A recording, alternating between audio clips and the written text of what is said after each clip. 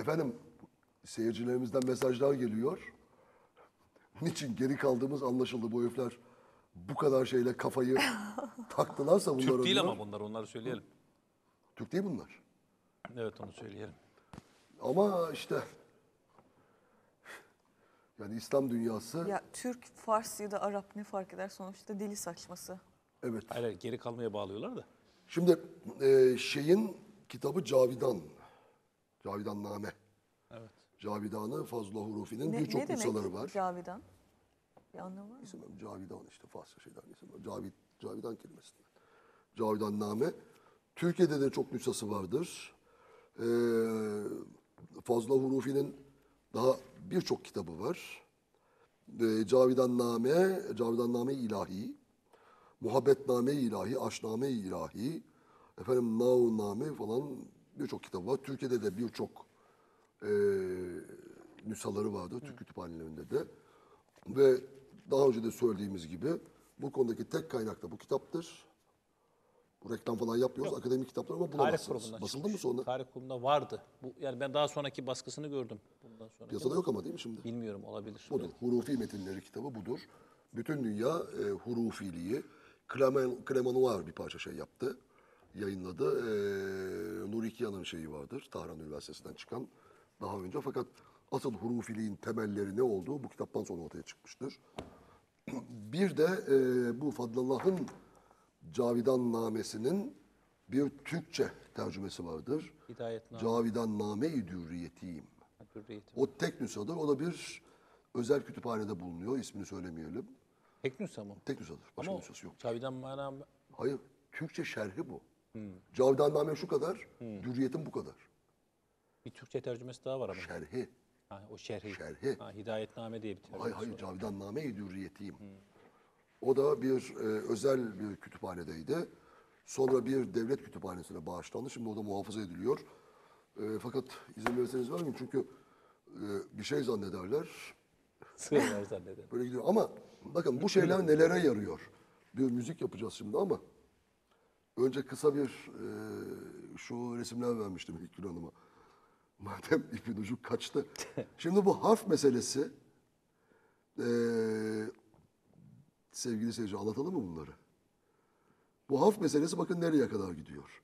Şimdi şu gördüğünüz Epchat dediğimiz şey ben gene oraya gideyim.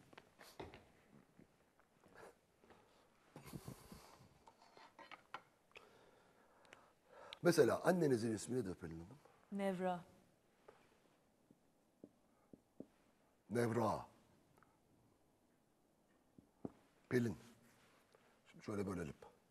Bakın ne işe yarayacak. 50. Efendim e, Nevra 6. 200. Şöyle 206 diyelim. Bir daha koyalım. 6 bir daha 7. 5. 2. Doğru mu yaptık? 257. 56, 206, 1, 6, 5, 257. Şöyle Pelin'i yapacağız. 2, Yap. 92. 30 daha 32, 10 şeyden Y'den geliyor. Ee, Nun'dan da 50, 50 geliyor. 290. 80, 92. Şunu 92 ile toplayalım. 7, şimdi Anne kız. hiç onu şey yapmayalım, hayır, toplamayalım önce. Şimdi bakın bu ne işe yarıyor? Bu işi, şunların ne olduğunu yazalım. Pelin, Nevra.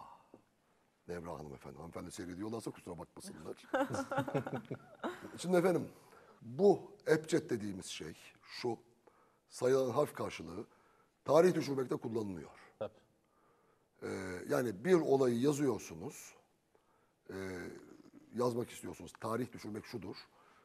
Ee, O olayın hangi tarihte olayın ettiği. yani yazdığınız şiirin son mısrağındaki harflerin sayısının toplamı olayın meydana geldiği tarihi verecek. Bunu en iyi yapanlardan biri bizim Süruri'dir. Süruri kıldı kah- e, kahveye tövbe. Tövbe. Efendim, şeyi bırakmış. Topladığınız vakit tarih çıkıyor. Yani Süruri kahve içmeyi bıraktı diyor. Veyahut farenin hasretinden öldü kedi. Çok güzel. ama. Kedisi ölmüş. Mesela son yıllarda düşürülen en güzel tarihlerden bir şeydi. Abdülbaki Hoca Şah'ın ölümüne düşürmüştü. Bir aş- geberdi Şahı Yezid. Şeyden. Bu. Bu işe yarıyor. Ee, bir de tabii fal için falan yarıyor. Bir de büyü için yarıyor. Şimdi ne yaparlar? Anneyle kendisiyle annesinin e, isimlerinin Toplar. Ebced karşılıklarını çıkartırlar. Eğer annesinin ismi yoksa Havva derler. Genellikle Havva derler. Onu kullanırlar ve şu iki sayının yani şu 92 ile 257 bu sayılar arasında bağlantılar kurarlar.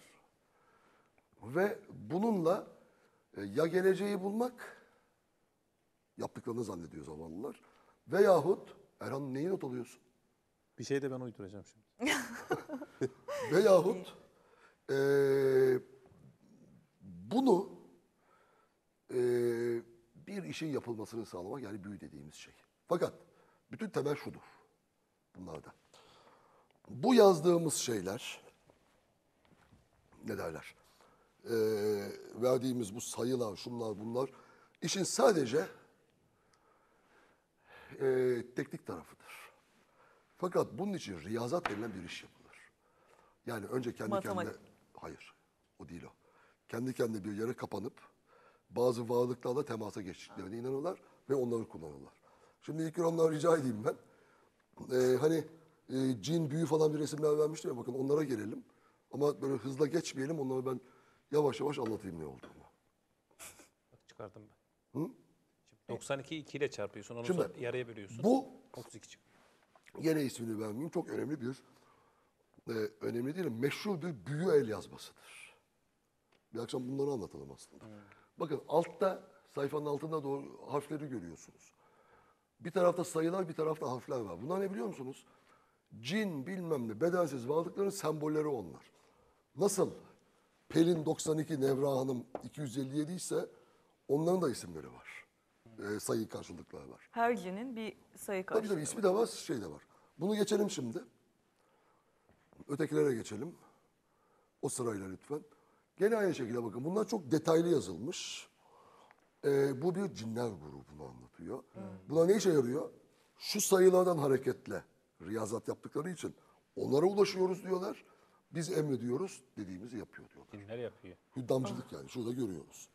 Şunlar. Evet geçiyoruz. Çok benzeri bu arada John Dee diye Queen Eliz- e, Elizabeth, birinci Elizabeth'in Kraliçe John Elizabeth. Dee, Hı hı. birinci Elizabeth'in bir şeyi vardı. e, Birinci. Elizabeth. Ha. John Dee meleklerle konuştuğunu iddia ederek bunun inanılmaz benzeri meleklerin ismi, Temel aynıdır. rakam aynı şey. Temel aynıdır. Ya şöyle Temel bir kitap. değişmez. Temel Ben hiç de o değişmez. kitaplar getiririm sonra. Temel hiç değişmez. Melek diline çıkarttığını yani bir sözlük yazmış Ha, bizde de adam. var öyle şeyler. Bizde de var öyle şeyler. Deli deli şeyler. Bu, bunun en ileri aşaması bir cifir risalesinden bir seremoni.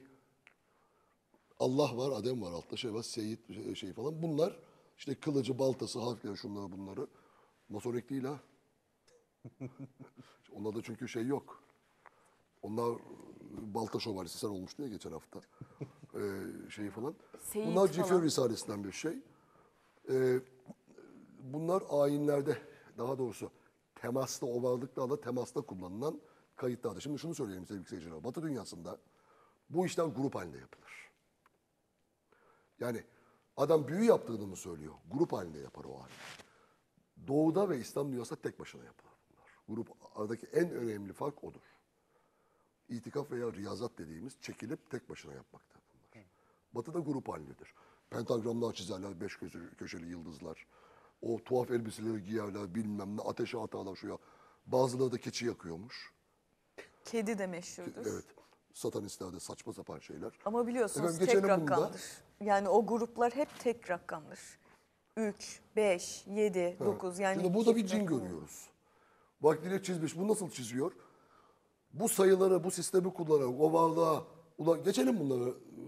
İlk önce sırayla geçelim. O varlıklara ulaştıklarını söylüyorlar. Bakın bunlar cin ve onları gördüklerini söylüyorlar. Sistem budur. En ileri aşaması hüddam. Evet mesela bu ateş cini. Bunlara ulaştıklarını söylüyorlar. Gördüklerini ve resimlerini çiziyorlar. Geçelim durmayalım. Bunlar da şey. Çok Bakın üstte sembolleri yazılı sol üst köşede. Harf karşılıkları. Biraz alfabeleri değişiktir. Bakın yukarıda da. Şimdi ona Yahudi yıldızı diyecekler. Hayır. O e, İslam dünyasında da çok kullanılan bir şekildir. Evet bunlar Allah'a secde eden melekler ve cinlermiş. Yani gördük diyorlar, bunları yaptık diyorlar. Geçelim, geçelim. Halüsinogenik uyuşturucular kullanmış. Hadi ama bu uyku ciniymiş.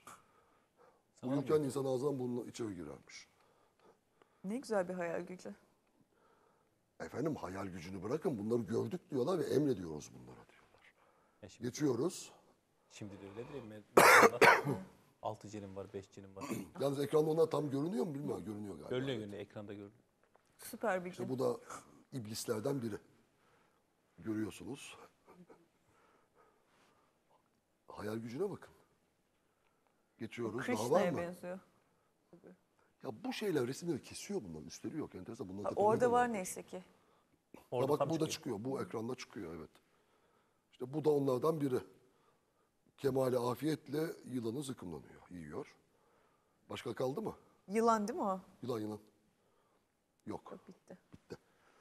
Yani maksat e, bu sistemle tabii bunun bu çok basit şekilde anlattım.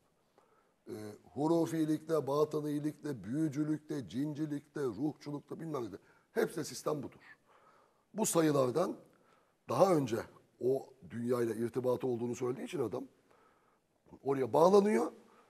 Şey yapıyor, bu sayılarla şunu yap, bunu yap, şunu yap diye biz buna hüddamcılık diyoruz. En ileri aşaması. Yani cinleri, varlıkları hizmetçi olarak kullanmak. Efendim mesele budur. Şey yapıyor şimdi, ben hesapladım.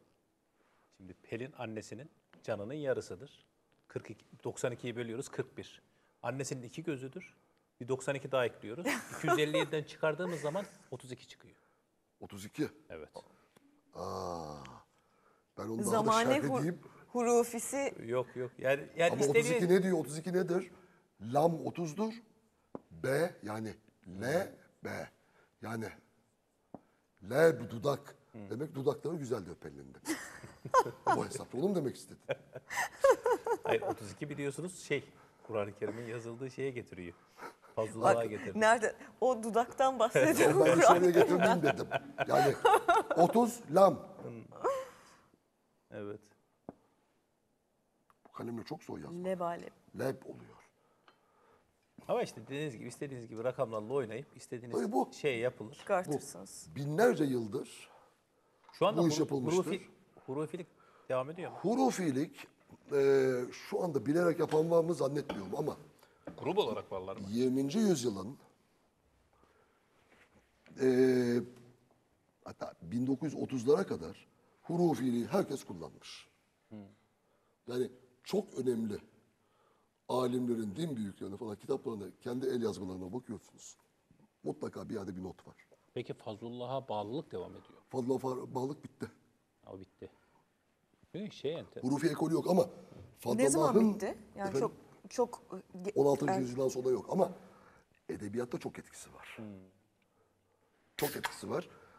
Ee, mesela işte o şiirlerde vardır. Çok geçer. Ee, şiirlerde e, harflere verilen manalar, şeyler çok geçer.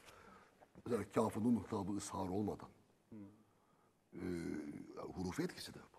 Nefis bir şiirdir ama hurufi etkisidir bunlar. Çok vardır. İznik'te e, toplanan birinci konsül Konstantin, birinci Bunun yok Konstantin. Hayır, yok şunu söyleyeceğim. Ya bu topraklarda o dönemde de şey e, Hermes'in işte e, Apollo kültleri vesaire vesaire onlarda da benzer böyle e, hesap kitaplar, büyücülükler falan filan var. İşte o birinci konsül toplanıyor ve birçok şey e, yasak getiriliyor. Yani işte şunu yapmayacaksın, bunu yapmayacaksın falan filan. Ama ondan sonra yani yasaklar gelmesine rağmen devam ediyor sürekli. Şimdi Pelin Hanım Batı dünyasında bunlar e, eski devrelerden, çok eski devrelerden kalmadır. Ya pagan çoğu işte. Pagandır fakat bunların şeyleri yoktur. E, kayıtları, orijinal kayıtları yoktur. Bizde İslamiyet'ten sonra özellikle e, 10-11. asırda ortaya çıktığı için bu tip şeyler. Mesela Fazla Hurufi Timur zamanı 15. yüzyıl. 14. 14, e, 14, hayır 14 tabii. 15 15. 14 ay 1394 ölümü. 14. 14. yüzyıl. Ay 1394. Pardon oldu. 15. yüzyıl. 15. evet. yüzyıl. 15. yüzyıl olduğu için bir yeni bunlara nispeten ve bunların kaynakları var. Bizdekilerin bütün kayıtlar, kaynaklar elimizde de. Batı dünyasında, palavrada herkes uydurmuştur. Hatırda ne kalacak? Ya budur yani Aristo'nun bir yazması veya e, ne bileyim e, Platon'un şunun bunun kendi el yazıları yok ki elimizde. Halbuki bu adamların el yazıları var. Ya işte mesela 100 yıl sonra toplanmış. 100 yılda da nelerin değişebileceğini tabii ki tahayyül edebiliyoruz. Ama fragmanlar var yani mesela Safo'dan vesaire değişik tabii ki fragmanlar var. Orada sorun hangi Safo? Mesela e, belli bu yeni bir tarihçi bunu e, öne sürüyor. Diyor ki o kadar çok Safo var Hanımefendi, ki. Batı dünyası size söyleyeyim. Batı dünyası gibi bu tip konular bizdeki kadar renkli değildir. Ya onlar çok işte renkli bunlar. 16. Yani yüzyıldan itibaren çok şeylerini renkleniyor. anlattım. Bizde bunlar çok renklidir. Ama bahsettiğiniz tarihlerde mesela John Dee denilen karakter o 17. yüzyıl. Dolayısıyla Bizimle aynı şeye koymayın. Fairies şeyler vardır. E, hayır, fairy- orada da orada da şeyler var. Ah, mesela e, e, demin bahsettiğim melekler Anladın mı? bizdeki cinlere çok mukayese etmeyin. Bizdeki çok zengindir. Batı'daki bizim kadar zengin değildir. Çünkü Batı'da ana kaynak yok ellerinde. Yani Bir de kilise- küçümsemek için kilise, demiyorum. Kilise tahakküm kurmuş. Kilise çok baskı kurmuş. Başka bir şeye sürdürtmemiş, el sürdürtmemiş. Yani şeyleri yok. Evet. Ha yani şey bizdeki enteresan. şey yok. bizdekilerin çoğu tabii yine İran kaynaklı. Yani İran- İran'ın İran İran'ın o evet. eski medeniyeti. Yani Arap kaynaklı şeyler de vardır. Ee, remil, şu bu kum falı falan ama asıl İran kaynaklıdır. Tabii Mazdek'ten tut şeye kadar, e, ateşkedelere kadar, Zerdüştlere kadar etkileri var bunlar. Şimdi biraz müzik yapalım. Şeyden, afiyet olsun o da götürüyormuş arada. ye ye ye. Bitir lokmanı da. Su içiyorum. Ya yemek sanki ayıp. Yemedim ama bakın duruyor. Hangisini yapalım? Ee. Kaynak. Evet. Yoruldum şey başında. Biraz musiki ile dinleniriz efendim. efendim Saadet'in kaynağın nihayet. Maşallah saat kaç? Üç. Üç. Üçte o perdelerin çıkması. Hiç kimse çıkamaz. Şey diyenlere aldırma. Çıkabiliyorlarsa çıksınlar çünkü biliyorum. Seni bağırtıyor, o perdelerde okutuyor falan diyorlar. Benim de kulağıma geliyor. Hiç aldırma.